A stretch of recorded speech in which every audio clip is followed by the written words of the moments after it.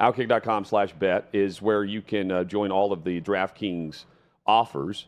Um, I'm picking two or three normally. I'm looking for, I've got four for you. I've got a four pack for you. And again, it's not a parlay, just individual, straight money line bets here where if we win 50% of them, you're going to get plus money. So if we're two and two on the weekend, we're going to make a little make a little cash here.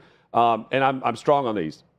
Now, one of them, to be fair, is probably a pick 'em by the time Sunday rolls around, and that's where we start. The Steelers and the Falcons. Um, I'm I've got Pittsburgh in this game. Kenny Pickett, to me, while he hasn't been great, he also hasn't been awful. He hasn't thrown an interception in the last three games.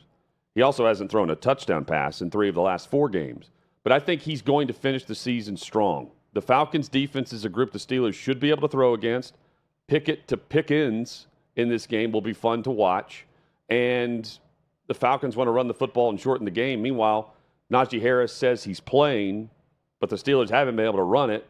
And that's why I think, because of just the style of offense right now, I'm taking Pittsburgh over Atlanta because I think they're going to put the ball in the air and actually try to gain some momentum and build on a season that's not going to end in the postseason. Again, uh, you get the road dog, Pittsburgh. I love Tomlin here. I like Arthur Smith too, but give me the money line if, in fact, you're getting plus money on the Steelers. Bengals over the Chiefs. Measuring stick game for Cincinnati. They won this game twice last year. Keep in mind, the regular season game was Ja'Marr Chase's breakout performance. Three touchdowns, had like 260 combined yards through the air. He's back this week, and the Bengals have already won three of the last four games without him. The Chiefs, meanwhile, turned the football over twice last week. That's why they lost twice to the Bengals a year ago. They turned the football over. Cincinnati's defense, I think, is becoming more and more opportunistic weekly, and I'm taking another great performance between two solid quarterbacks. Bears over the Packers. It's just this simple. I realize Rodgers has absolutely owned this franchise.